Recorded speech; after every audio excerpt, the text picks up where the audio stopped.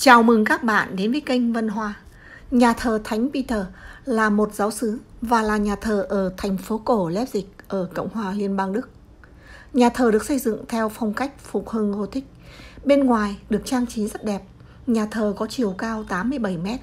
Đây là một nhà thờ cao nhất ở thành phố Leipzig. Bên trong nhà thờ có rất nhiều các cửa sổ, kính màu lộng lẫy và một cổng lớn ở phía tây. Vào năm 1876, Hội đồng nhà thờ đã quyết định xây một nhà thờ mới tại phía nam thành phố cổ. 80 kiến trúc sư từ khắp nước Đức đã tham gia một cuộc thi kiến trúc vào năm 1877. Cuối cùng, hội đồng đã chọn ra thiết kế xuất sắc của hai kiến trúc sư để xây dựng nhà thờ. Việc xây dựng bắt đầu được tiến hành vào ngày 17 tháng 9 năm 1882 và được khánh thành vào ngày 27 tháng 12 năm 1885.